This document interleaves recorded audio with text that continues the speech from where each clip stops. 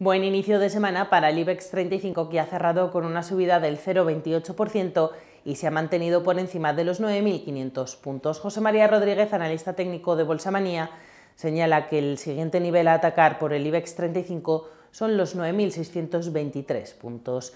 Banco Popular ha sido el gran protagonista de esta jornada.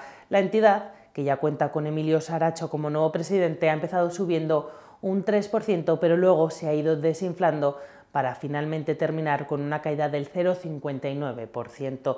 Popular ha celebrado una junta para aprobar el relevo de su expresidente Ángel Ron y en la que los accionistas han mostrado su malestar con la entidad.